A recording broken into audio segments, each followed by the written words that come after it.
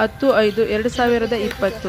ವಿಶ್ವ ತಾಯಂದಿರ ದಿನಾಚರಣೆಯನ್ನು ಶ್ರೀರಂಗಪಟ್ಟಣದ ಲಕ್ಷ್ಮೀ ನರಸಿಂಹಸ್ವಾಮಿ ದೇವಸ್ಥಾನದಲ್ಲಿ ಸರಳವಾಗಿ ಉಗಮಚೇತನ ಟ್ರಸ್ಟ್ ವತಿಯಿಂದ ಆಚರಣೆ ಮಾಡಲಾಯಿತು.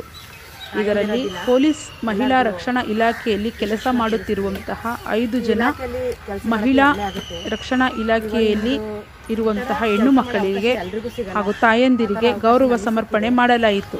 ಹಾಗೂ ಇಬ್ಬರು ಹೋಮ್ಗಾರ್ಡ್ ಹೆಣ್ಣು ಮಕ್ಕಳಿಗೂ ಗೌರವ ಸಮರ್ಪಣೆ ಮಾಡಲಾಯಿತು. ಈ ಕಾರ್ಯಕ್ರಮದ ಅಧ್ಯಕ್ಷತೆಯನ್ನು ಆಶಾಲತಾ ಪುಟ್ಟೇಗೌಡರು ಹಾಗೂ ಮುಖ್ಯ ಅತಿಥಿಗಳಾಗಿ ಡಾಕ್ಟರ್ ಸುಜಯ್ ಕುಮಾರ್, ಕೃಷ್ಣಪ್ಪ ಪುರಸಭಾ ಸದಸ್ಯರು, lawyer C S Venkatesh Ugamachetana trust ಅಧ್ಯಕ್ಷರು Priya Ramesh ಟ್ರಸ್ಟಿಯಾದಂತಹ Kalavathi Chidambar doctor Raghavendra S M Shivakumar ಅಪ್ಪಾಜಿಯವರು ನಿರೂಪಣೆಯನ್ನು ಮಾಡಿದರು. ಇದರಲ್ಲಿ ಗುಣಸಾಗರಿಯವರು ತಾಯಂದಿರ ಬಗ್ಗೆ ಒಂದು ಕವಿತಾ ವಾಚನವನ್ನು ಮಂಡನೆ ಮಾಡಿದರು.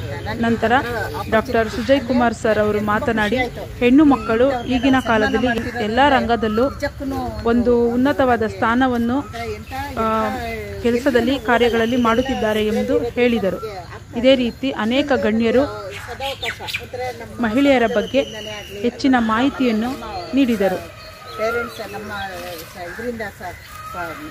ಸಂಸಾರವನ್ನು ನನ್ನ ಕುಟುಂಬದ ವತಿಯಿಂದನೇ ಆಗಲಿ, ಈ ಒಂದು ಕಾರ್ಯಕ್ರಮಕ್ಕೆ ಬಂದು ಬಂದು ನಾನು ಅವ್ರನ್ನ ಸನ್ಮಾನ ಮಾಡಬೇಕು ಅಂತ ಖುಷಿ ಆಯಿತು.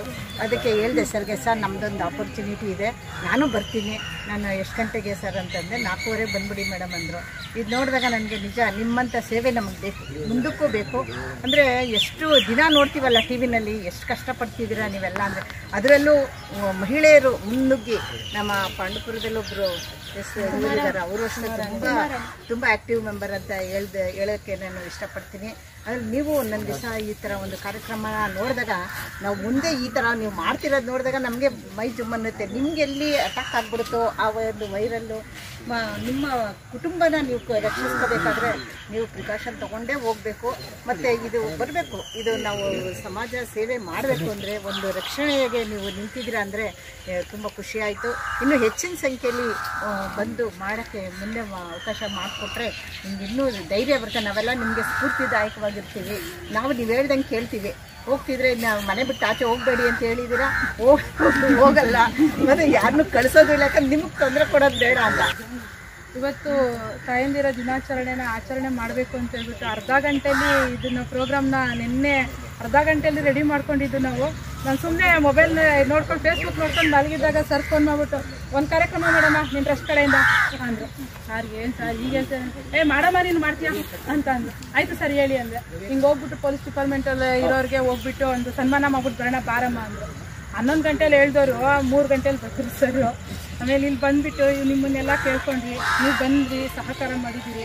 ನನ್ನ ಟ್ರಸ್ಟಲ್ಲಿ ಇದು ಮೊದಲನೇ ಕಾರ್ಯಕ್ರಮ, ಈ ಊರಲ್ಲಿ ಮೊದಲನೇ ಕಾರ್ಯಕ್ರಮ. ನಾನಿದ್ದಂಥ ಊರಲ್ಲಿ ಶ್ರೀರಂಗಪಟ್ಟಣದಲ್ಲಿ ಹೆಚ್ಚಾಗಿ ನಾನು ಕಾಡ್ಗ ಕಾಡು ಜೊತೆನೇ ಕೆಲಸ ಮಾಡೋದ್ರಿಂದ ಅಲ್ಲೇ ನನ್ನ ಟ್ರಸ್ಟ್ಗಳದ್ದು ಏನೋ ಒಂದು ಕೆಲಸ ಆದ್ರೂ ನಾನು ಅಲ್ಲೇ ಜಾಸ್ತಿ ಕೆಲಸ ಮಾಡ್ತಾ ಇದ್ದೀನಿ.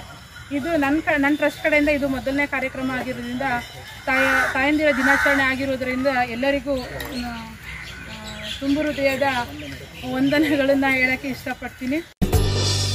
ಗರಿ ನಿಮ್ಮ ಮನದಾಳದ ಗರಿ.